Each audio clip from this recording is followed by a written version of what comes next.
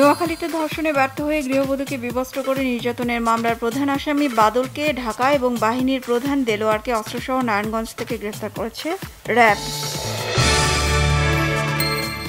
নোয়াখালীর বেগমগঞ্জে বিবস্ত্র করে নারী নির্যাতনের ঘটনার নিন্দা ও চলমান ধর্ষণ ও নারী নির্যাতনের প্রতিবাদে।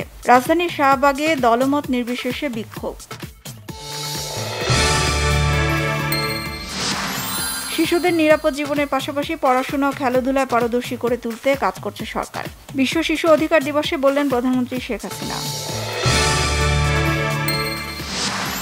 ধর্ষণ বা সামাজিক অপরাধের দায় সরকার এড়াতে পারে না বলে মন্তব্য আওয়ামী লীগের সাধারণ সম্পাদক ওবায়দুল কাদের।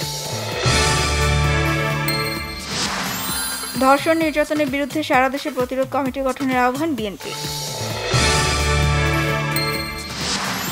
বারো অক্টোবরের মধ্যে যাদের ভিসার মেয়াদ শেষ হচ্ছে, তাদের আজ টিকিট দিচ্ছে সৌদি এয়ারলাইন্স। করোনায় দেশে একদিনে আরও সাতাশ জনের মৃত্যু হয়েছে। একদিনে এগারো হাজার সাতশো সাতষট্টিটি নমুনা পরীক্ষায় এক হাজার চারশো বিয়াল্লিশ জনের করোনা শনাক্ত হয়েছে।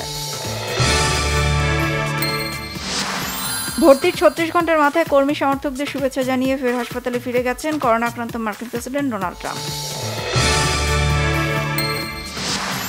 বিতর্কিত নাগর্ণ ও কারাবাক অঞ্চলের দখল নিয়ে আজারবাইজান ও আর্মেনিয়ার যুদ্ধ অব্যাহত রয়েছে। সেনা সদস্য সহ নিহত অন্তত দুইশো বিশ জন। আজ সাঁত্রিশ বছর বয়সে পা রেখেছেন ক্রিকেটার ও সাবেক অধিনায়ক মাশরাফি বিন মুর্তুজা।